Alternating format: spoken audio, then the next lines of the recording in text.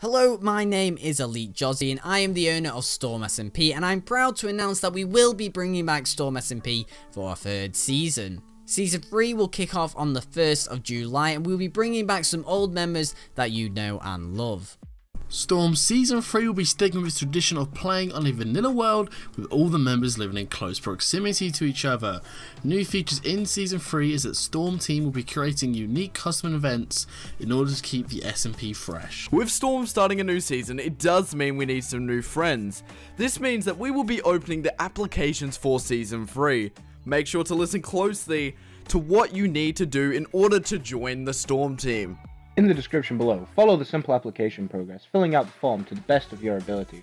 We also strongly advise that you do make an application video to go along with your application.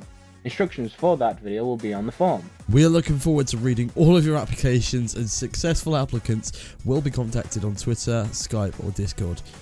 Applications for Storm SMP will close on the 22nd of June and we will attempt to message every unsuccessful application. But if you're not contacted by the 29th of June, your application will have been declined. So from everyone in the Storm team, we look forward to seeing your applications and good luck.